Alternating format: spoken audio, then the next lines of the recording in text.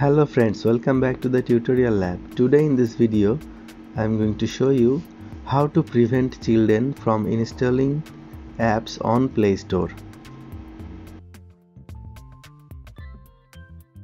If children use your device, you should enable the Play Store parental control to set a content restriction for each type of app and prevent children from installing app you don't want to use.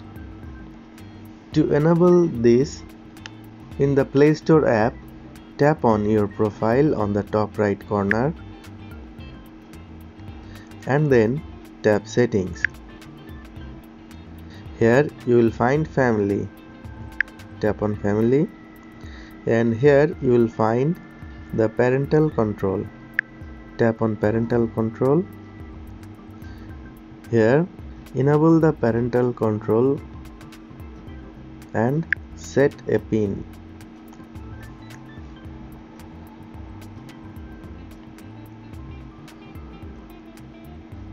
Tap on ok. Confirm your pin again.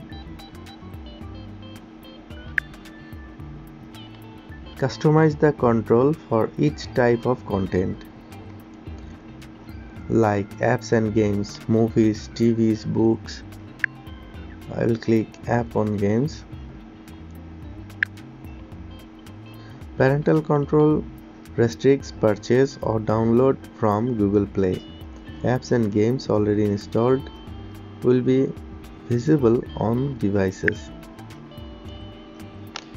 You can enable and disable all select your desired options and then tap on save. Here your setting is saved by this way you can prevent children from installing apps on your google play store. Friends that was our today's video. I hope you like this. Please give a thumbs up and share with your friends. Thanks for watching